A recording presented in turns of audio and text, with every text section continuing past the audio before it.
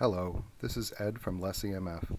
Today I would like to demonstrate the effectiveness of our face shielding product. Many of our customers experience burning, tingling, or pain in their face or eyes when exposed to an electric field or radio frequency radiation.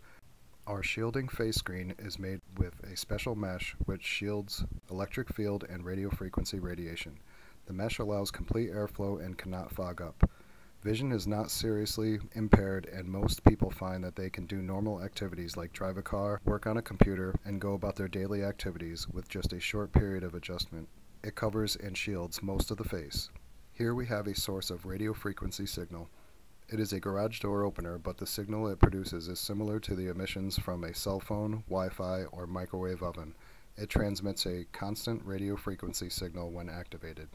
This device is an RF meter it will show the amount of microwave radiation. More radiation will show a larger number and a louder sound. First, we see the background level of radiation is low, about 2 microwatts per square meter. When I press the button on the transmitter, you can see the meter reports the strength of the signal it receives, about 180 to 200 microwatts per square meter.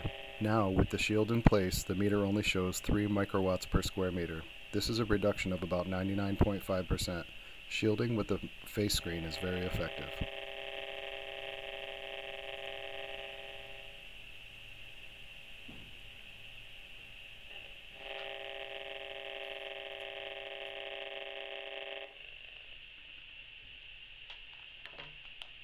These are EMF safety glasses. They use the same shielding mesh, but in a smaller format.